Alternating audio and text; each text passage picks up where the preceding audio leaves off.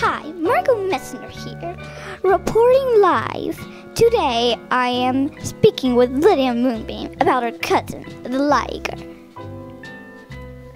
I want to talk to you about this because the liger is a practically cool animal, and we need to tell more people of the world about this. So, Lydia Moonbeam, tell us more about the liger.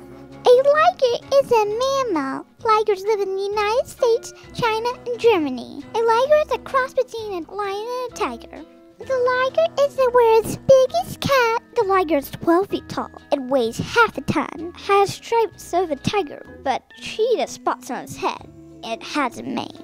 The liger is bigger than its parents. The liger is as strong as a lion and as fast as a tiger. The length of a liger is 12 to 14. They eat 30 pounds of raw meat a day. Isn't that a lot? And they also eat deer, wild boar, and small Asian elephants. Sadly, ligers are not found in the wild, only clay, caged enclosures.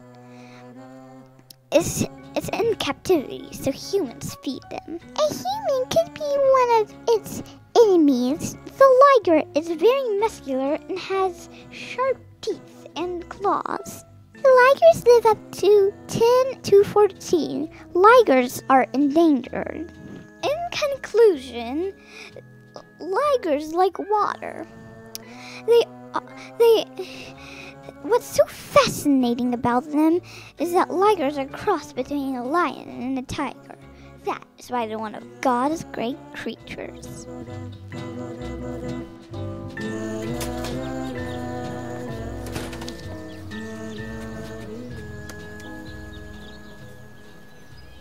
What are you drawing? A liger. What's a liger? It's pretty much my favorite animal. It's like a lion and a tiger mixed. Bred for its skills and magic.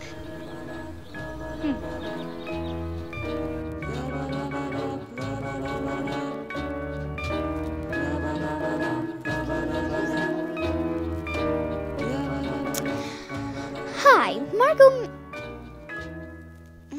We start that over? No, it's. Did you pause that? I he- um, this is Lydia's part. Sadly, ligers are not found in the wild, only in cage enclosures. Enclosures.